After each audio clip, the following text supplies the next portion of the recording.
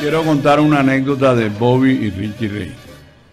Cuando ellos estuvieron aquí por primera vez que los trajo el señor de Pepsi Cola, ellos casi que se queman, mueren quemados en el hotel, un hotel que quedaba en San Blas, en la calle San Blas, o sea, calle 35, entre la carrera 45 y la 44. Hotel Victoria. Hotel Victoria.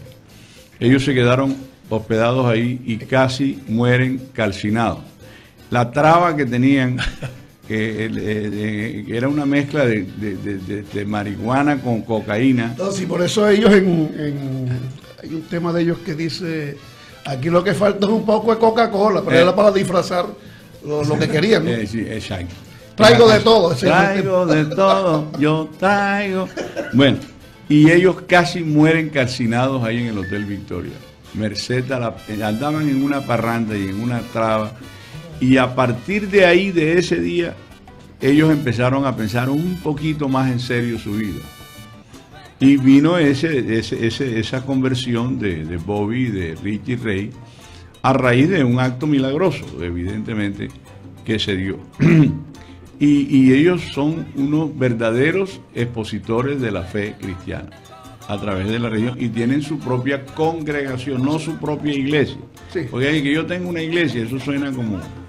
No, tienen su propia feligresía de alguna manera y exhortan a la gente a un comportamiento mejor, más, más a favor del ser humano, más a favor de tu salud, de tu mente, de tu espíritu.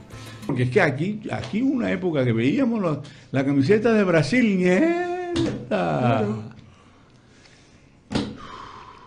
Mira lo que dice Barro Por, Esqueloto. por- por eso es que a Manuel Manjarre le pusieron Maracaná porque Brasil empujó siete a Colombia y, él hizo No, un sí, golcito y yo- yo Maracaná. Yo iba en el bus de la selección Colombia que iba desde el hotel hacia el estadio Maracaná. Y el señor Umaña, técnico que fue campeón con el Junior, pero mm, el Junior hizo campeón a Umaña, porque ese era otro cobarde. Se la pasó diciendo durante todo el trayecto, nos van a llenar. Tuvo que salir reta y le dijo, oye, pero ¿qué es la vaina tuya? Perro blanco. Y tuvo que insultarlo allí para asustarlo. Ah, y cuando llegaron al, al camerino de Maracaná, que en el- los camerinos del Maracaná había como una especie de cancha sintética con arco y tal, donde los, los Para jugadores calentar, para calentar. calentaban. Mierda, el mierda, mira esta vaina.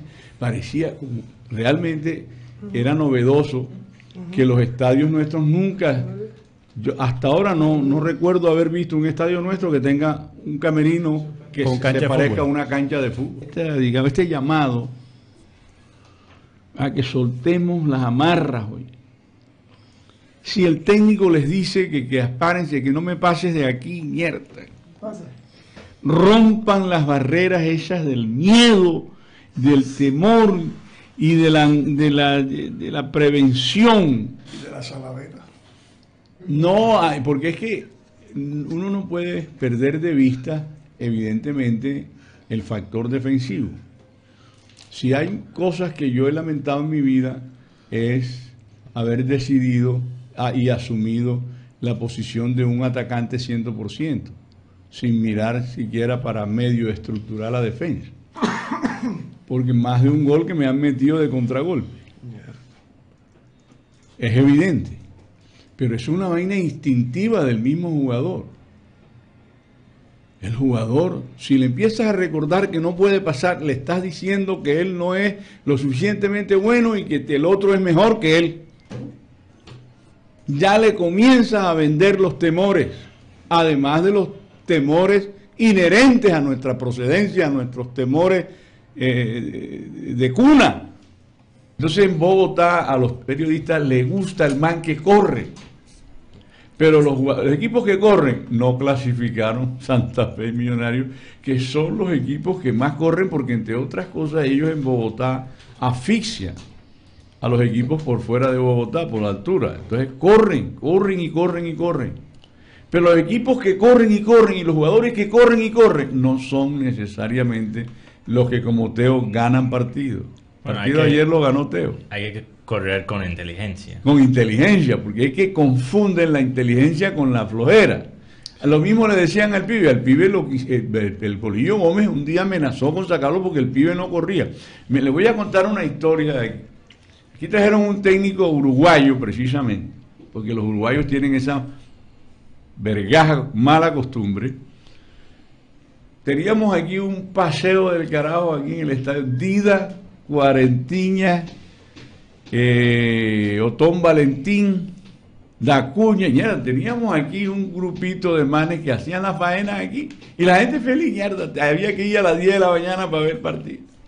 Y llegó este León Sordo, se llamaba, ¿cómo era? León Martínez, precisamente. Entonces, León Martínez, como buen León Sordo, se tiró el concierto, dijo que tenían que correr y marcar. Tenía Dida, cuarentillas manes de 38 años que los trajeron aquí para que dieran, que tenían que correr y marcar, porque los uruguayos, ese es el fútbol de ellos, ellos no pueden pensar de otra manera. Mierda, y, y, acabó con Dida, el pobre Dida, y que marcando. Dida esperaba que le pusieran la pelota ahí en las 18 y hacía las, las diabluras y hacía goles de chalaca y la, ¡ay! la gente feliz comprando boletas. Estadio lleno. Eso sí, no éramos campeones. Entonces llegó un momento en que nos empezamos a cansar y alguien como Edgar Perea nos hizo caer en cuenta que ya teníamos que ser campeones. A ver, a ver, pero tú estás confundido con el nombre. No fue, no fue León Martínez, fue William Martínez. William Martínez, ah, sí, León Martínez fue otro, tiene razón. Eh, León Martínez fue un preparador físico que trajo Baraca. Es William Martínez. Argentino, William uruguayo. William Martínez, este, sí, León Martínez, argentino, William Martínez, uruguayo. Y el man se le metió que Dida tenía que marcar y que tenía que marcar, lo mismo que el, que el Borillo Gómez, que el pibe tenía que marcar. Y lo mismo le pasó a Moscá, un técnico allá en Montpellier, no, que el pibe no marcaba.